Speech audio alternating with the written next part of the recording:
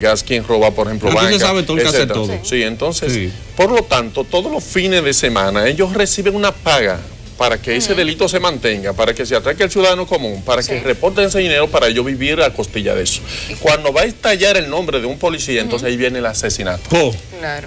Para silenciar Para inmediatamente. silenciar, porque está de juego el uniforme, está de juego su, su posición y, y- y también eh, su nombre, ¿verdad? Entonces, en ese sentido, que nosotros podemos eh, darnos cuenta de que el delito no va a terminar en esos municipios porque nada más no es Herrera. Eso Claro está no. sucediendo en toda la República Dominicana. Y mientras vemos en la pantalla de la televisión al jefe de la policía, Manuel Pillo Castro Castillo, dando un paño sin pasta a la situación y que la policía y un código policial y una reforma.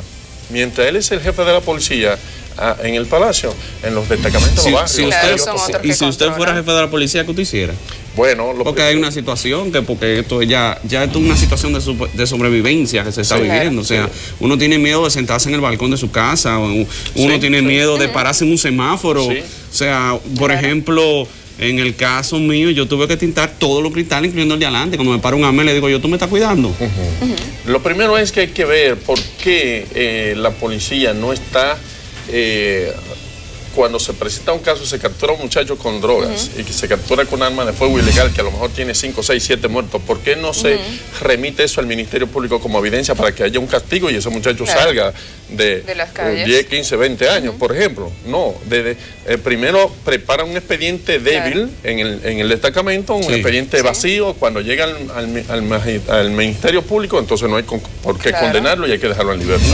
El muchacho vuel- vuelve a la calle muerto de la risa y la sociedad completamente amenazada.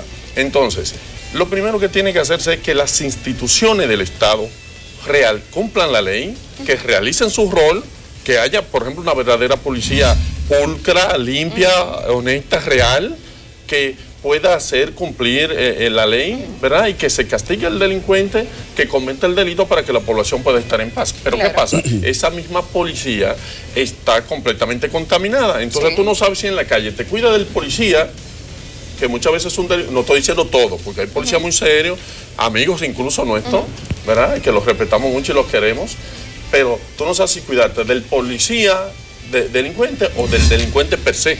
O sea, ¿dónde está el fallo? En la policía, en el Ministerio Público, porque pueden tomar preso a un reconocido, por ejemplo, violador Sí. de la zona, eh, que la gente sabe, porque la Sí. gente sabe. Sí. En los Si barrios el, la abogado gente sabe, sabe. si el abogado sabe O negociar, que sale lo que sea y lo ven de nuevo al otro día Sí. pasando por frente de la casa donde él haya cometido alguna Sí. fechoría, se burla de la gente. Entonces ahí es que viene la impunidad y la gente se molesta y terminan este matándolo con el Sí, barrio y nadie sí. va a decir más Si el nada. abogado tiene buenas relaciones con el magistrado, 150 o 200 mil pesos es suficiente para que se caiga el expediente. Pero eso a es. nivel del Ministerio Público. Eso, es sencillo. O sea, compra comprándolo. Claro. Claro. Es sencillo. Yo estaba en un caso en la provincia Santo, eh, Santo Domingo, en la Chale de Gol, en la Procuraduría.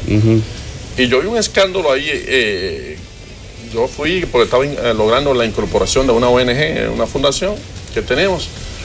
Y ahí vi una señora que llegó y hizo un espectáculo, un escándalo con el magistrado que estaba ahí. Porque le- la había atracado, ella fue y puso la denuncia y le está dando el, seguimiento al caso, pero cuando ella va a una bomba a echar combustible, ve que el tipo le pasa en un motor por detrás. Y él dice, pero se supone que, le, eh, eh, que lo están procesando. ¿Cómo que sale? En la noche, a las 11 de la noche, hubo un acuerdo económico. Soltaron al muchacho. Ella no se dio cuenta. Esa es la situación de la República Dominicana.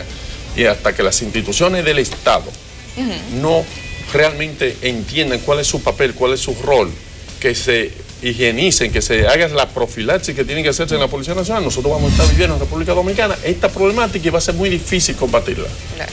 Pero también los, los mismos delincuentes también utilizan mucha mano dura contra el pueblo Sí. y también contra los mismos policías. Claro. Pero ¿cree usted que la policía debe entonces utilizar la fuerza para poder controlarlos a ellos? ¿O de qué manera entonces deben de ellos de accionar? Porque si a mí me tiran, flo- eh, si a mí me tiran disparos, yo no voy a tirar no, flores. no estamos de acuerdo eh, eh, en, en la parte de que la policía tiene que amanatearse para hacer su trabajo, porque eh, estamos claros en eso. Y yo lo escuchaba a ustedes haciendo el comentario. Y yo le dije, es cierto, ellos se sienten impotentes, igual que como me siento yo, porque cuando veo que a alguien de mi comunidad, por ejemplo, le hacen una barbaridad, yo tengo que sentirme aludido también. Y me duele a mí como si fuera yo mismo. El asunto está que hay situaciones en las que se, y hay violación de, de lo- de los derechos humanos, pero tam- eh, y eso es innegociable, nosotros siempre vamos a estar frente a esto, pero tampoco podemos permitir que se, República Dominicana se convierta en una, en una tierra inhabitable. No pregunta, pero los de, eh, yo entiendo lo de los derechos humanos, que todo el mundo tiene derecho y que fulano tiene derecho y que fulano de- tiene derecho. Pero un psicópata que se ha llevado siete por el gusto de robarse una cadena, un reloj, eh, lo que sea, y tú vuelves y lo ves en la calle porque alguien está fallando, no sé si es la policía, no sé si es la, la- lo que sea, y tú lo ves y todo el mundo sabe que se ha llevado siete, ocho, nueve, diez gente por eso y vuelve a la calle y le pasa a algún familiar de uno, yo lo voy a buscar y lo voy a rellenar y no va a ser de besos. Yo entiendo. Entonces, Es ¿qué que- vamos a es que hacer? nosotros- ¿Qué- ¿De quién es el derecho? Claro. Sí. De ese azaroso, perdona la Sí. palabra, asesino Sí. que anda en la calle, o uno que está en su casa tranquilo, que van y te dan un tiro por una cadena de plata. Es que los derechos humanos nada más no es eh, defender como eh, personas que cometen delitos. O sea, no digo nada más porque a veces es ahí donde nos quieren crucificar. Yo le decía a ella lo que son los DESCA, los derechos sociales, económicos, políticos y sociales, y hasta medioambientales. Derecho al agua. Mira como, por ejemplo, hay un país, mientras los barrios no tienen agua, hay unos camiones llenándose para venderlo a 1.300 pesos. Entonces, ¿por qué ellos tienen agua y el pueblo común no? ¿Por qué?